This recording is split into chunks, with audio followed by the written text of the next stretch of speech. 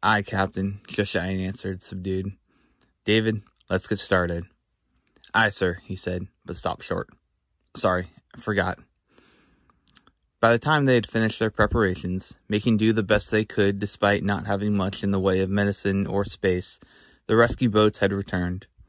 One man, a worn-out, frail individual with long white hair and beard, whom Josiah recognized as the one waving, wept openly. He watched as bodies were pulled carefully from the boat and laid out on the deck, where other crewmen would check for signs of life. Josiah bent down to one body, a middle-aged man from his looks, who was dressed in raggedy blue clothing, and felt for a pulse. The body felt cold and stiff, though, and he sighed, looking at the old man with sympathy, as all around him the crewmen were having similar luck, and the body count far exceeded the original amount he had seen through the glass. But then, one man, Jane, got excited. Captain, he said, this one, I don't know how, but this kid's still got life in him.